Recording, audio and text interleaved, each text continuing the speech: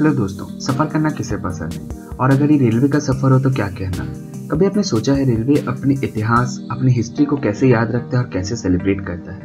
क्या कभी आपने ध्यान दिया है, कभी कुछ लोकोमोटिव या इंजन के ऊपर कभी कुछ नाम लिखे होते हैं? जैसे गजराज, नवजागरण, नवकीर्ति।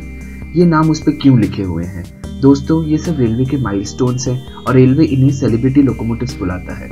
ये सब स्पेशल नाम उन लोकोमोटिव्स को दिए जाते हैं जब कोई स्पेशल टाइम को याद रखना हो या किसी चीज़ को फ्यूचर में भी सेलिब्रेट करना हो। दोस्तों, चलो, आज इसी के बारे में जानते हैं। अगली बार आप कभी ट्रैवल कर रहे हो तो ये जानने की ज़रूर कोशिश करिएगा क्या पता कोई सेलिब्रिटी लोकोमोटिव आपकी भी ट्रेन को हॉल कर रहा हो। इंडिया में 1995 के बाद डब्ल्यू पी फाइव लोकोमोटिव्स आ गए थे। फिर भी इनमें लॉन्ग डिस्टेंस 24 कोचेस ट्रेन को हॉल करने की क्षमता नहीं थी। तब रेलवे ने डब्ल्यू पी सेवन लोकोमोटिव बनाया, जो अब तक के सबसे पावरफुल पैसेंजर लोकोमोटिव थे। दोस्तों डब्ल्यू पी सेवन लोकोमोटिव के इंट्रोडक्शन के बाद भारत का इतिहास ही बदल गया। ये लोकोमोटिव 6120 हॉर्स पावर के थे और इसकी एक्सेलरेशन पैसेंजर लोकोमोटिव के हिसाब से हाईएस्ट थी। दोस्तों, जो सबसे पहला लोकोमोटिव बना, वो है 30201 जिसका नाम नवकिरण रखा गया। गाजियाबाद शेड ने इसका नाम नवकिरण दिया, जिसका मतलब था न्यू रे ऑफ़ द लाइट ये 19th मई 2000 को आया। अगला लोकोमोटिव अगर हम देखें 30202 इसका नाम था नव भारती और न्यू रिक्रूटमेंट अगर मैं इंग्लिश में बोलूँ।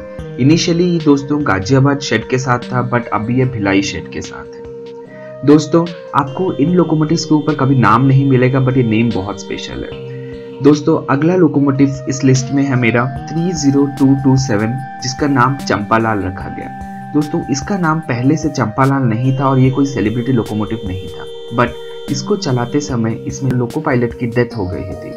तब से इसका नाम चंपालाल रखा गया और दोस्तों, आपको कभी अगर आपने बहुत पहले ध्यान दिया हो, कभी कुछ टाइम के लिए इसके ऊपर लास्ट ट्रिप ऑफ़ चंपालाल भी लिखा गया था। दोस्तों, अगली लिस्ट में मेरा है 30295 WP7 जिसका नाम नवज्योति रखा गया। नवज्योति का मतलब होता है new flame of the light ये फ़र्स्ट WP7 है जो हावड़ा शेड को एलोकेट किया गया और इसने अपने इनागुलर रन में Howrah Dhanbad double decker AC express को हॉल किया। दोस्तों, अगली लिस्ट में है 30479 जो आपका fifty loco of RPM shed था रॉयपुरम शेड का था, जिसका नाम तंगम दिया गया। ये दोस्तों एच ओ जी एनेबल्ड है मतलब ये हेड ऑन जनरेशन एनेबल्ड है। इसका मतलब ये ऊपर ओवरहेड वायर से इलेक्ट्रिसिटी ले सकता है। और दोस्तों, इसका मतलब थंगम का मतलब होता है गोल्ड या फुल ऑफ़ जॉय प्रिशियस दोस्तों, हम जो अभी नेक्स्ट पी सेवन की बात करने वाले हैं, वो है 30509 और एक है 30521 दोनों का नाम वरुण दिया गया और ये डीएलडब्ल्यू द्वारा बनाया गया पहला लोकोमोटिव थे। दोस्तों डीएलडब्ल्यू जनरली आपका डीजल लोकोमोटिव वर्क्स जो डीजल लोकोमोटिव ही बनाता था और इसके पहले बनाए हुए सारे पी सेवन या W P seven C L W ने बनाया था। इन लोकोमोटिव्स ने इंडिया का इतिहास ही बदल दिया। अब पहली बार डीएलडब्ल्यू ने भी आपका इलेक्ट्रिक लोकोमोटिव्स बनाने शुरू किए और ये दोनों लोकोमोटिव्स आसपास ही बने थे। 30509 14 टू 2017 को बना और 30521 83 2017 को बना।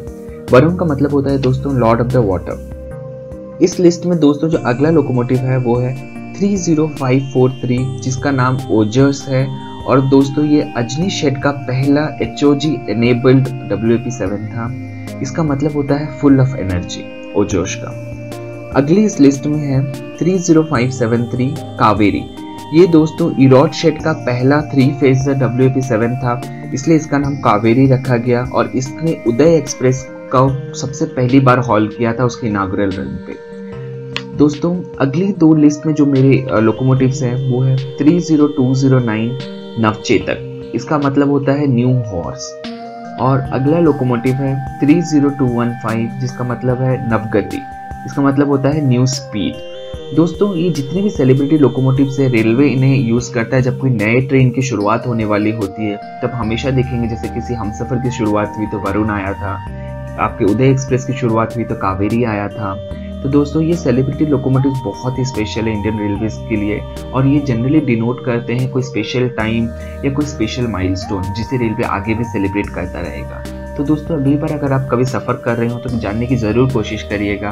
इनमें से कोई डब्ल्यू पी सेवन लोकोमोटिव जो कोई माइलस्टोन लोकोमोटिव सेलिब्रिटी लोकोमोटिव के आपकी ट्रेन को हॉल कर रहा है। अगर आपको दोस्तों वीडियो बहुत अच्छा लगा है, आप ज़रूर लाइक कीजिए सब्सक्राइब कीजिए।